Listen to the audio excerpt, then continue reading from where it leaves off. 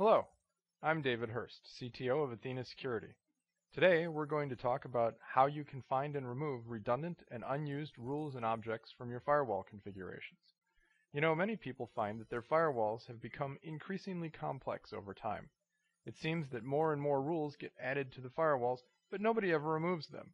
There are many reasons for this. When a change request comes in, it's frequently difficult to know if there are already existing rules that fulfill the request, so the rules just get added even if they're redundant. When servers move or applications become obsolete, nobody ever tells the firewall admins that they can remove any associated rules. And knowing the impact of removing any given rule is virtually impossible, so the rules remain and the configurations continue to accumulate cruft, making the problem even worse.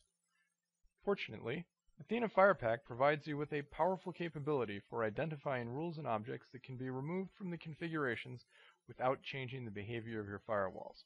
This can simplify your configurations by as much as 30 or even 40%, making things a lot easier to manage. Let's see how it works. First, I'll select the firewalls from the firewall inventory that I want to clean up. Then I'll click on the Rule Cleanup button to start the analysis for the selected firewalls. This operation will typically take a few minutes per firewall, depending on the complexity of the firewall. When the operation completes, rule analysis report is generated. Here we see listed each of the firewalls that was selected, and by clicking on it we can go to the summary for that specific firewall. Here we see the number of rules that were identified, the number of redundant and shadowed rules, unused rules, unreferenced objects, unused rules, unused objects, and so forth. For each firewall, a detail report is generated, and we can click on the link here to find that specific report. This report shows a summary of the analysis that was performed for that firewall, including the structural object cleanup, where we look at the specific relationships between rules to identify rules that are redundant, the usage-based rule analysis, where we find unused rules and unused objects, and the rule optimization, where we can find opportunities to improve the performance of the firewall. Let's take a look at some of these details, starting with the redundancy analysis. Here we see rules that were identified as not contributing to the behavior of the firewall. Let's look at some examples. Rule 104 is identified as being redundant to Rule 91. When we look at Rule 91, we see that it is a pretty general uh, permit FTP rule. And so Rule 104, which allows FTP to a specific host, never gets triggered because Rule 91 captures all of the packets first. So Rule 104 does not contribute to the behavior of the firewall and can be simply be removed. This is a fairly obvious case, but there are some more complicated things that we can find too.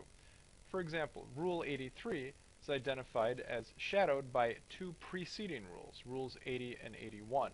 So here, it's the combination of these two rules that causes Rule 83 to never be triggered, and hence does not contribute to the behavior of the firewall. And so it could be removed from the configuration, and the behavior of the firewall will not be changed. However, notice that this is identified as a shadow, which means that the action performed by Rule 83 is different than the actions of the shadowing rules 80 and 81. Those rules permit and Rule 83 denies. This means that there may be some intention on the part of the network administrator which is not being carried out, and so you'll want to take a look at that before you go ahead and remove Rule 83. Rule 74 is another example. Here we see Rule 74 is redundant to the following rule, Rule 76. We're not saying that Rule 74 never gets triggered because obviously it does. However, any packet that might be matched by Rule 74 will also match Rule 76 because Rule 76 is actually a superset rule. And so here again we can remove Rule 74 without modifying the behavior of the firewall. So in each of these cases we're finding rules that because of their relationship to other rules in the configuration really don't contribute anything to the behavior of the firewall and can simply be removed. The next section of the report shows rules that were identified as being unused.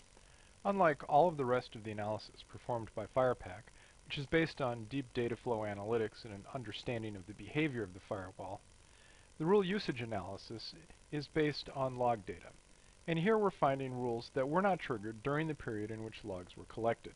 These rules are candidates for being removed from the configuration, but it requires a judgment call to make sure that the rules actually can be removed. You want to make sure you're not going to remove that one rule that enables the payroll application but only fires at the end of the month. In addition to rule usage, FirePAC also analyzes object usage. NetScreen and Checkpoint firewalls allow references to multiple objects in each field of a rule. FirePAC will determine the number of hits to each object in the rule and then identify the objects that are not being used and can be removed from the rule. This provides further opportunities for simplifying the configuration and making it easier to understand. There is also a global object usage analysis. Here we see the number of hits to each object from all of the rules that reference it. The usage is broken down by object member, allowing you to identify unused members that can be removed. The flip side of the unused rules are the most used rules. Here, FirePAC has identified the rules that were triggered most frequently during the period in which logs were collected. In addition to giving you some insight into the traffic that's flowing through your firewall, the general recommendation is that you can improve the performance of your firewall by taking the most frequently used rules and moving them up to the beginning of the rule set. Of course, there are frequently order dependencies between the rules in the rule set, and if you just change the order of those rules, it will change the behavior of the firewall. So FirePAC will actually identify those order dependencies for you, as we see displayed here. But it actually goes one step beyond that, and will generate an optimized rule order. The optimized rule order is based on moving the most frequently triggered rules as far up in the rule set as they can go, subject to the order dependencies. So this ordering will give you an improvement in the performance of the firewall, but will not change the behavior of the firewall. In addition to the PDF report that we've just been reviewing, FirePAC can also generate the rule cleanup report in a spreadsheet format, as we see here. This makes it very easy to cut and paste the analysis results or to repurpose it for another use. For firewalls that have a command line interface, such as Cisco or NetScreen, FirePAC uses the results of the rule cleanup analysis to generate a script, such as the one seen here. This script can be applied to the firewall to remove all of the redundant and unused rules and objects. The script is very well organized and heavily documented, so you know exactly what changes are being made and why. If you are using FirePAC with the Orion NCM Network Configuration Management tool from SolarWinds, you can execute the script directly. Just select the firewall, then choose the Execute Script menu item, load the script from the file system, and execute it. The changes will be applied automatically to the device. So as we have seen, FirePAC makes rule cleanup a snap. All you need to do is import your configuration, run the rule cleanup analysis, review the generated script, and then execute it on the firewall. And boom, you're done. That's all there is to it. For more information about FirePAC and other products from Athena Security, please visit our website at www.athenasecurity.net.